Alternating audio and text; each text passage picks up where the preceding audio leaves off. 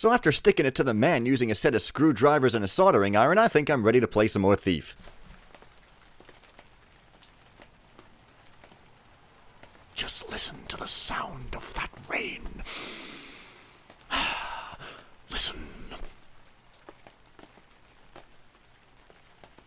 Okay, stop listening. It's freaking Sturmdrang Peak by Nick Dablin. And uh, uh, once again, like usual, I'm very late to playing it, and everybody's already played and enjoyed it already. So you can therefore watch me do it again, in case you don't have anything better to do with your day. Never mind. Let's start a new game. No tasty candy colored difficulties this time, just expert. Returning to your apartment, you find a letter waiting for you. Okay.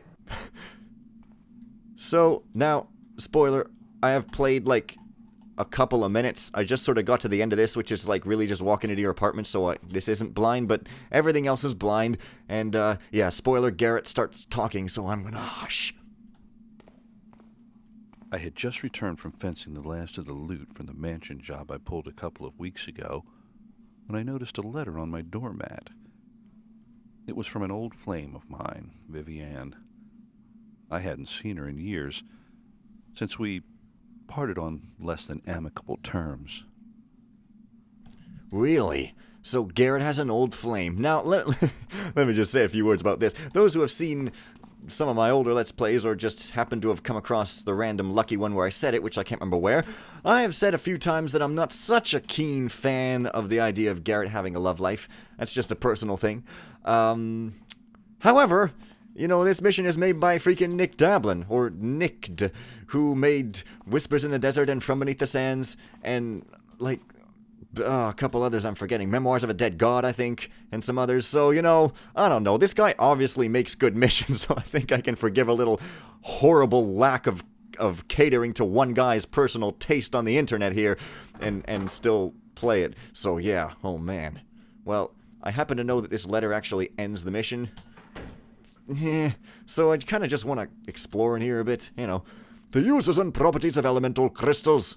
Jared Sloop. These must be references practical modern security. They're, you know, they're not really hilarious or anything. They're basically just kind of flavor books. I like how this one's hanging over the edge, though. It looks pretty cool. Lost temples and treasures. For some reason, every time I have occasion to play a fan mission, wherein you go into your own apartment and there's loot, I keep thinking I should be able to rob for myself. Like, it doesn't make any sense. I'd just be putting it back there, but I'm just like, loot! Must get it! anyway, Garrett's got a pretty friggin' nice setup here. And, you know, he's got dishes and everything. Oh my god. And I guess this is his bedroom, or as they say in Canadian, wash basin. And, uh, yeah, it's so trippy. You can't take a, a flash bomb.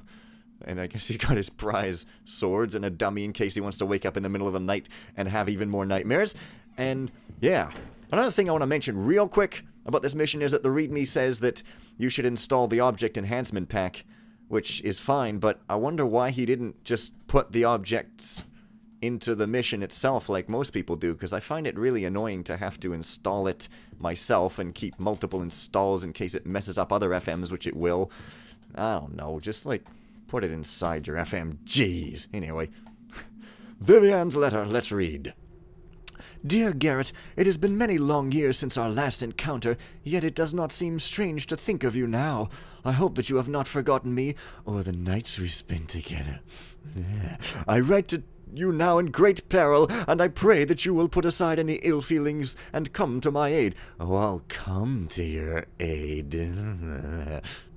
yeah. Some months ago, I became engaged to Sir Alexander Horrigan. What? You bitch! Yeah, that's great. Write to a guy who was an old flame and tell him you got married. That's a great idea. Sir Alexander Horrigan, the commander of the City Navy. I thought my dreams had come true when I came to stay at the castle at Sturmdrang Island, but if I had known then what I know now, I would have refused his advances. Alexander has fallen into madness, as married men tend to do in fan missions. A great obsession has overwhelmed him, and the cause of it is the discovery of the long hidden treasure of Captain William Sturmdrang, the ferocious pirate who originally built the fortress here at Sturmdrang Peak.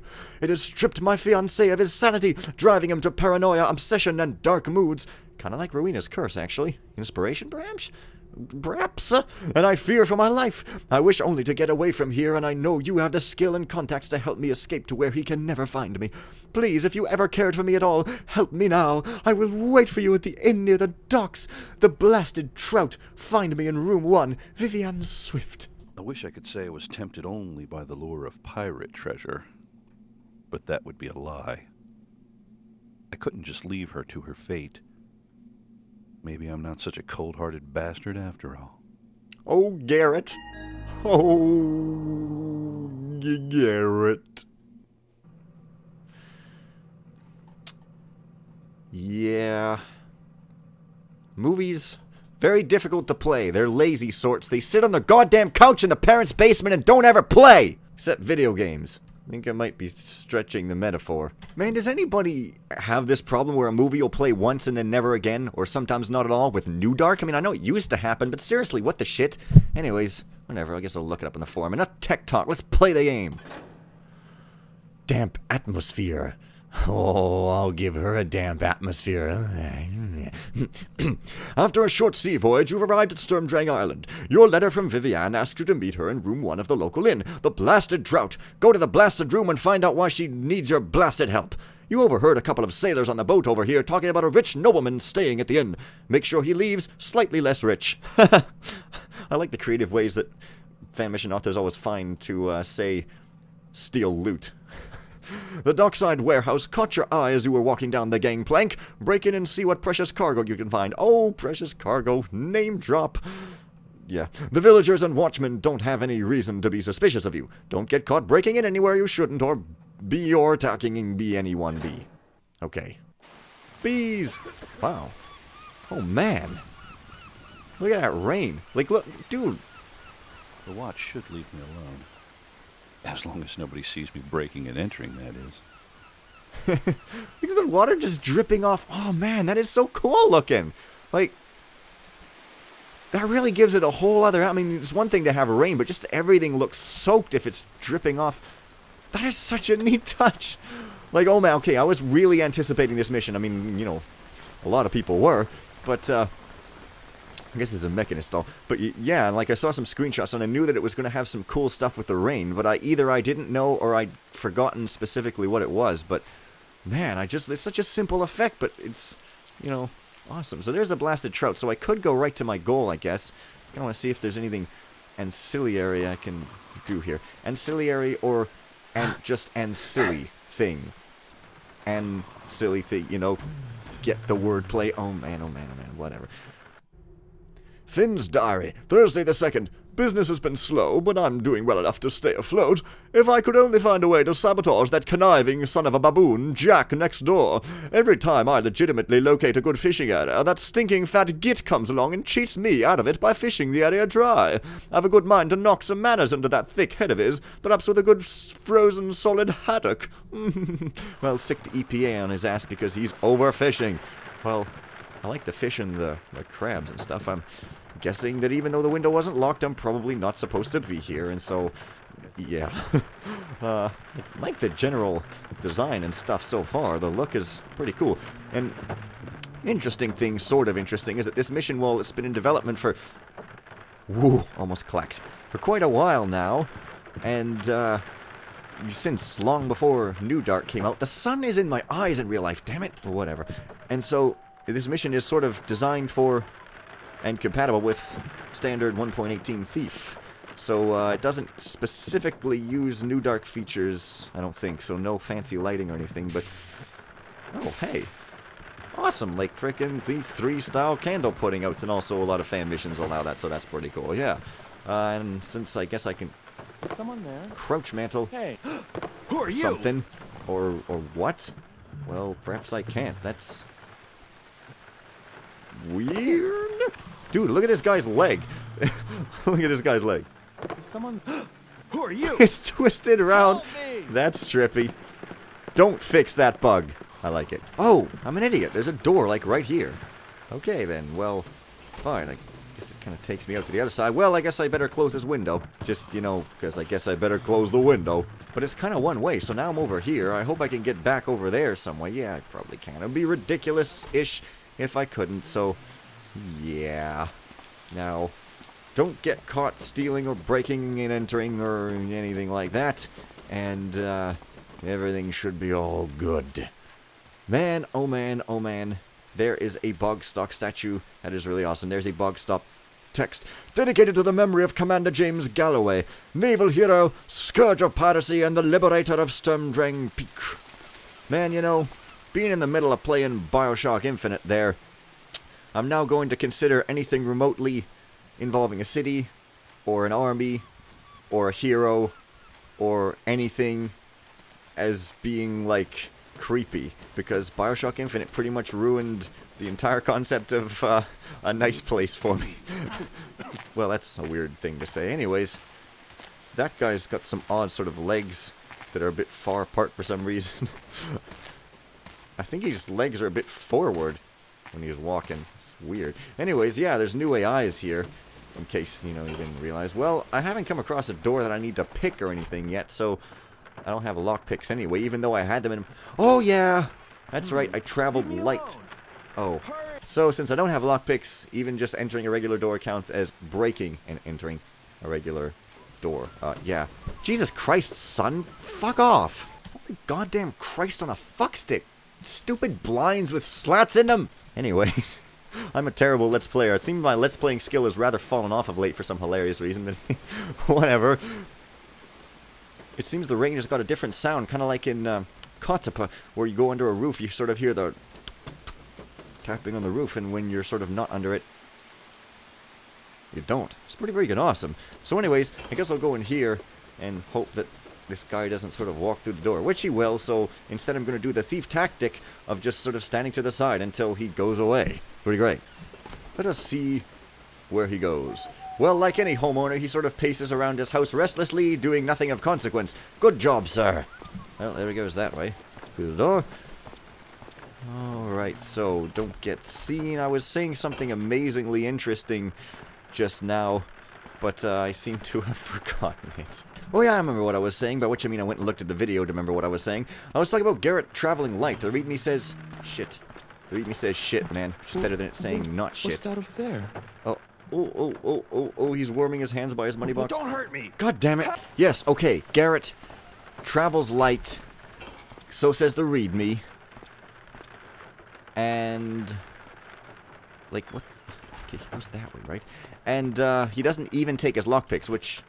That's a little weird to me, because lockpicks are extremely light and small and picky and stuff. Uh... Sort of like I was when I was a kid. Oh! And, uh, he really should have brought them, but I guess, you know rule of gameplay, there's probably going to be some cool gameplay going on. So I guess really the thing about this house is I probably just want to get some loot from that. Mere 25 gold or maybe silver or pennies or something almost makes it seem hardly worth it to be a thief in a foreign town with beautiful rain and a pretty awesome thing thing. So apparently this uh, campaign is so! And uh, I can definitely get with it being 20% cooler than any other rain. Uh, I hope that I'm a really hip kid because I'm using like awesome phrases that nobody has used yet. Oh yeah! That guy just walks funny. I don't know what it is. Sort of weird. But I...